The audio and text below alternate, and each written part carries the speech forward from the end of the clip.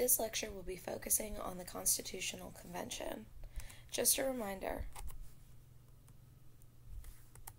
Shays' Rebellion was in 1786. Farmers were deeply in debt, and then Eastern merchants pushed through a state tax that would hurt farmers more.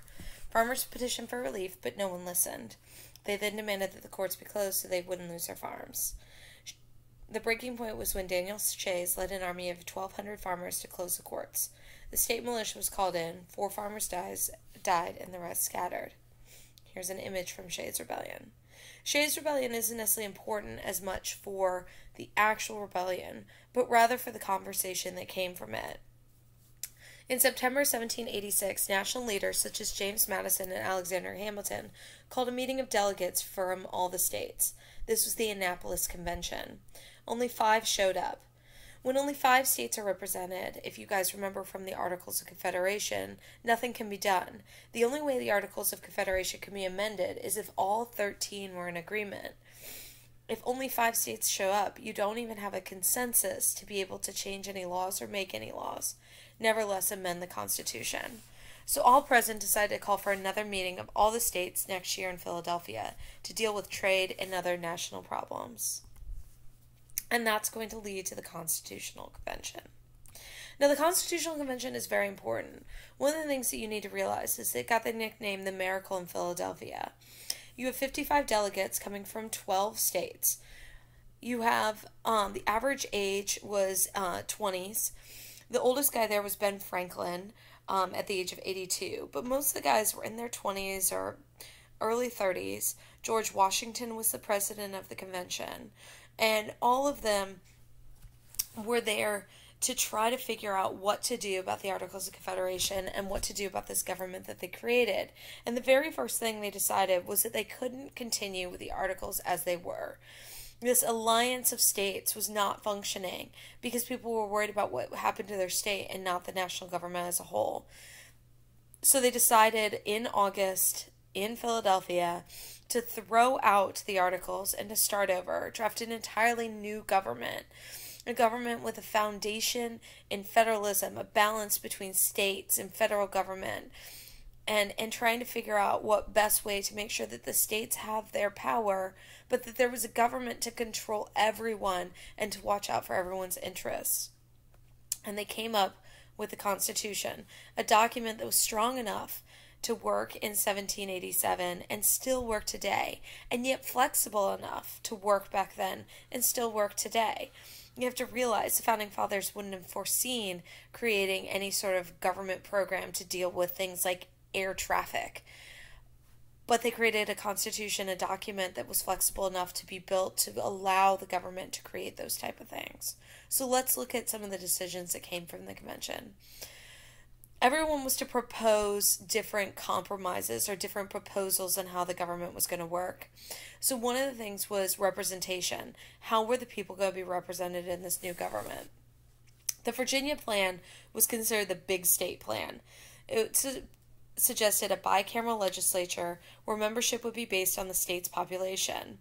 Voters would elect members of the lower house, and then the lower house would elect members of the upper house both houses would elect president and judges. This is very similar to the parliamentary system. Um, and and sort of that's the foundation that they built it upon. The small states, on the other hand, proposed the New Jersey plan, which was a unicameral legislature, so only one house, and each state had equal vote.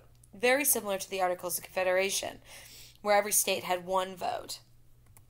So they came up with a Great Compromise, or the Connecticut Compromise. This would be a two house Congress. Each state would receive equal representation in the Senate, and the size of the population would determine representation in the House of Representatives.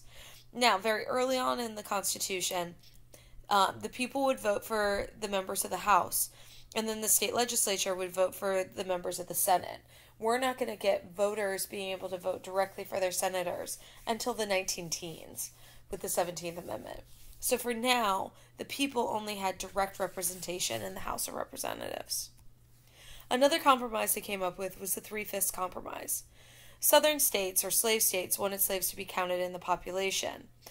Northern states didn't want them to be counted as part of the population for representation, but they did want them counted as part of the uh, state's tax revenue.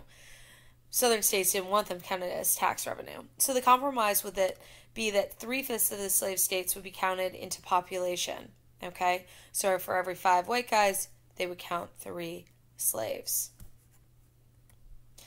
They divided power between the national government and the state government. Powers given to um, the national government were delegated or enumerated. Literally, they're numbered in the Constitution. Article 1, Section 1, Article 1, Section 2. Um, and it dealt with things like foreign affairs and national defense. The state government had reserve powers, so those who were not specifically granted to the national government were given to the state. Things like supervising education and establishing marriage laws and procedures. Then we had checks and balances with the separation of powers. The legislative branch makes the laws, the executive branch would carry out the laws, and the judicial branch would hear the cases. With checks and balances, they could make sure that no one branch was bigger than the other. So when the legislative branch made a law, if that law was unconstitutional, the judicial branch could knock it down. The executive branch would decide whether or not to sign that law into office.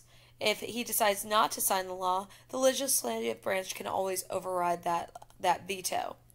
They all can check each other and control each other's power.